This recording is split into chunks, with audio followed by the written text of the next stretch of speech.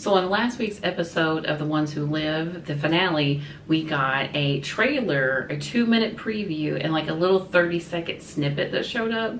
So we have two videos to go over. I found some good things. I also found one concerning thing. I also went back to the trailer that dropped last year to see if I can kind of piece anything together. That was also the trailer that they leaked last year before the finale of the first season of Daryl Dixon even aired. Let's hope they fix a lot of these leaks. We already know that the ones who live had issues with like screeners leaking a lot of stuff you know. One or two bad people ruins it for all the good people who were like doing what they were supposed to. So we'll see how this next season goes. The two minute clip we're going to talk about first is on youtube. It's also on amc plus. The other one i can only find it through twitter and it's kind of a grainy looking uh, quality too. But that one has some good details in it so it's worth it to look at it if you can find it we open up with Daryl at this gas station. He's hiding behind a wall. We have new people with him and they have this trap set with wires and explosives. These guys could be part of Fallou's larger group that we saw. We didn't see everybody, but there was like 60 something people. So maybe it's one of them. I didn't recognize any of them. We see a three person caravan. Two of the Jeeps have soldiers in it. The first one has uh, Jeanette from the first season in it. And you can see the guy driving has the tattoo, like just like Codron's in a different fashion. There is this third one that's in the middle though, almost like the two cars are guarding it. And it looks like a big cargo truck. In the area that they're at is a gas station, but in the second 30 second clip, it looks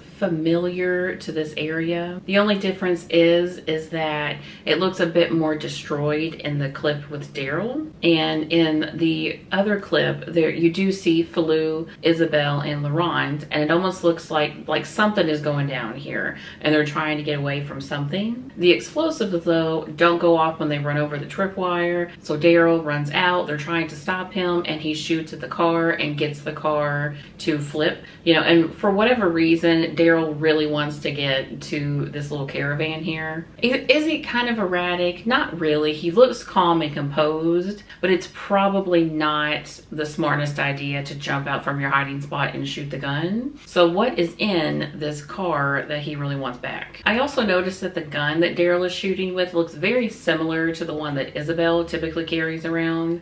I tried to go back and compare the guns. They look similar, but like they use all of these like older-ish guns that aren't really used nowadays. So it really could be anything. Uh, Sylvie also had sort of a similar gun in the first season. So maybe it's hers. They get to this cargo truck and finally go and get the back of it open. And there's three people sitting there in the back of the truck. And I don't know what Daryl was expecting, but whatever was supposed to be in this truck, that is what he was really wanting. And they're not walkers or anything. They're kind of just sitting there. They're So, and one of the people has their face AI digitally concealed. So there's a couple of things. Judging by Daryl's face, I don't think anybody in this the back of this truck is Carol. He doesn't look shocked enough for me for it to be Carol hiding in the back of a truck or kidnapped or anything like that. You know, I figure if he saw his best friend again after so many months in a different continent, he'd probably look a little more shocked to me. Going back to that scene with Fallou, Laurent, and Isabel, there is a chance that something happened and maybe Jeanette, you know, took them again like they did last time. You know, Sylvie, I don't, we haven't seen any kind of clips of her either, so maybe she's the one that was taken because he does have two guns. He has a smaller handgun and then he has like the larger, is it a musket? Don't drag me, I don't know what they're called, but he has the longer barreled gun. They're heavily guarding this truck. Are they taking people again for these experiments? You know, we learned in season one that that's why they had the gas station is that they took people from America, took them to France and turned them into science experiments. So what makes these three people so special? And it's definitely not Carol because you, the person that has their face hidden has black boots and the very next scene is a scene with Carol back at the gas station in America and you can see her boots that they're brown. They're completely different colors and styles. So it's not Carol in the back of that car. And depending on how they do it, are both of these scenes in the same episode. And if Carol's in America, I assume she's in the first episode. Unless they're to do something similar like they did with Daryl. How did he get to France? They didn't tell us officially till episode five, you know, in those like flashbacks. So we'll see how they do it. I wasn't mad when they waited until episode five because I ultimately like the reason of how he got there and I thought it was a good reason. So as long as they can deliver on the how Carol got to France thing, I don't mind if they do the same thing again. You know, and Carol rolls up with the motorcycle. She does what she does best and she pretends to be just a helpless little woman looking for someone to help her fix a bike. We have the guy from the first season who was helping uh, Daryl and picked him up on the side of the road. We've got him back. He looks a little suspicious of Carol. He name drops somebody, but you know, Carol kind of plays it off as if she just needs help. You know, he says he can't help her. We see the guy who is absolutely was in the Savior's War with Daryl, the asshole apparently, crossbow. And then like she picks it up, tells him don't move, and then we cut scene. So we don't have a ton of new information from this two minute clip of Carol. We do have some shots in this 30 second snippet. Again, it's not a whole ton, but we do have some more information. We see Carol at one point who is in France, kind of looking around. She's around all of these decayed boats. She looks like she's alone. And then we also have another shot. It's a very quick one. And this is where the trouble comes in for me. She's standing there with what looks like four people. We can't see their faces, but it's what looks like a woman with silver hair and that red burgundy jacket that she always wears and jeans and that's what she was wearing in the motorcycle episode. The problem comes in is that whenever you stop it and actually really look at it, because I paused it to see how many people were in the frame, did I recognize anyone? And I don't initially recognize anyone in that little frame, but what I did recognize is some like GT 2010-ish like level graphics. And I'm hoping that's not an indicator of like the budget going down. You know, I mean, on the first once or twice of me watching that clip, I didn't notice anything with the graphics. But when I slowed it down and stopped it, that's when I noticed how poor the graphic was. But it's like a really quick like flyby shot too. As they were like filming and getting ready for uh, season two, they did season two so fast and they're gonna air it this summer, which felt very quick to me. So I was really hoping that the quality of the show was not gonna go down. They did a really, really great job. So hopefully they're gonna keep that same standard because I like the show, but I like the show because it has good quality, especially compared to like some other stuff we've been watching. And I don't want it to go down. Like AMC will always be the downfall of like any of its shows. I also need to know, are they going to tell us how Carol found this gas station specifically? Because we know from the phone call, she Daryl just says he's near the coast of Maine basically, and that's about it. And then that's like a pretty big area to go wandering around by yourself into, right? So we have the 30 second teaser, which I think I, I I, kind of enjoy. There's these little breadcrumbs that maybe we can piece together. So it starts out with a shot of Daryl and Isabel standing. They're looking at the nest from far away. And we have a voiceover of Isabel saying, tell me a story. Daryl starts to tell her about a man that left home looking for something. Again, this is his story, a callback to like the first episode in season one. And that's pretty much all we get. But the sound of like Isabel's voice specifically, she sounds pretty distressed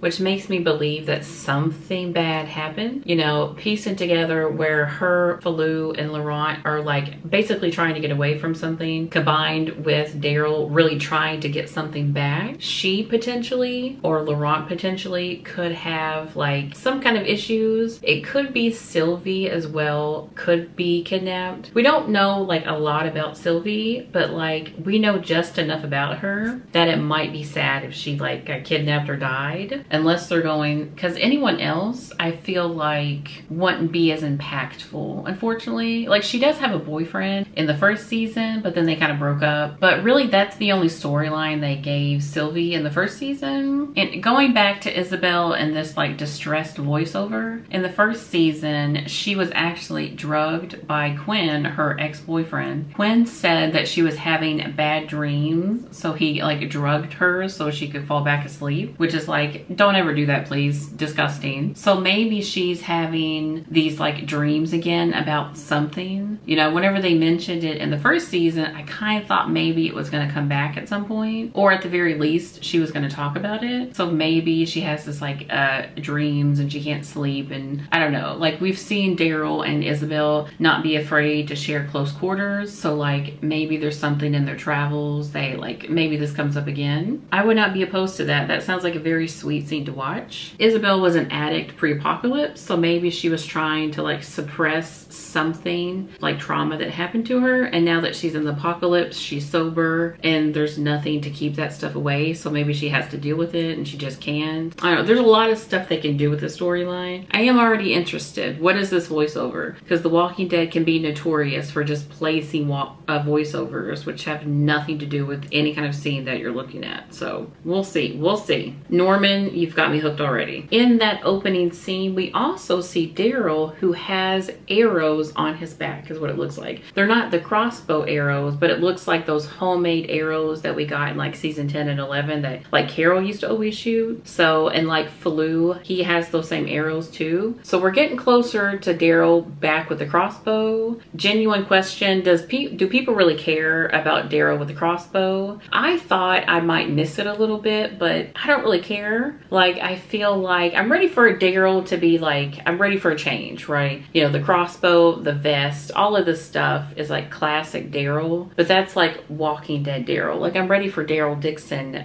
Daryl Dixon, and what they're gonna offer too, right? I remember in last year's Comic Con, you know, Norman Reedus mentioned even cutting Daryl's hair. Like I'm even ready for like a Daryl haircut. Like give this man like a new weapon, give him a new pair of underwear, get that baby like a new haircut, let him like live his best life. Let's let's just completely change everything, in my humble opinion. You know, like he's still the same guy with a haircut or without a vest. He's still Daryl, no matter what, right? Yeah, the only shot we have of Laurent is him and Daryl walking away from what looks like the nest, the entrance. I don't know what they're doing, but they're going somewhere. I do kind of hope that they pick up season two right where they left off, where Daryl's on the beach looking at Laurent. I kind of want to see like a zombie fight of him getting back to Laurent. Maybe Laurent could like kill another walker, maybe get his uh, fighting skills up. I do want kind of want Isabel to be upset with Laurent a little bit because he literally went cross country in the walkers to go find Daryl, a man that was supposed to go back to America. Like that should make your mother or your surrogate mother a little bit mad. And Isabel's been this very like like chill, subdued person for the most part. She doesn't really get erratic and mad. And like maybe seeing that, I don't know, just give me a different dynamic to Isabel. We do have a voiceover that at the very end of it, it's Carol saying, come with me. So who is she saying come with me to? Wouldn't it be a gag if it was like Carol asking Ezekiel to like come with her or something? I know he doesn't do it, but wouldn't that be crazy? I would like to see Carol leaving the Commonwealth at some point, you know, and like